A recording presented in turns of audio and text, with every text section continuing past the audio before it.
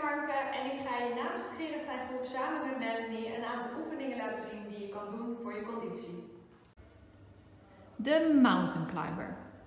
Je gaat op je handen staan, je polsen zet je goed onder je schouders en dan kom je in een rechte plank staan op je tenen. Hou goed nog steeds die polsen onder je schouders en dan ga je één voor één je knie naar je buik trekken. Navel goed ingetrokken houden.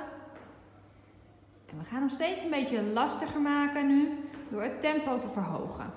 Dus kijk welk tempo goed voor je ligt, waarbij je navel nog goed aangespannen kan houden en nog steeds die polsen en die schouders boven elkaar kan houden.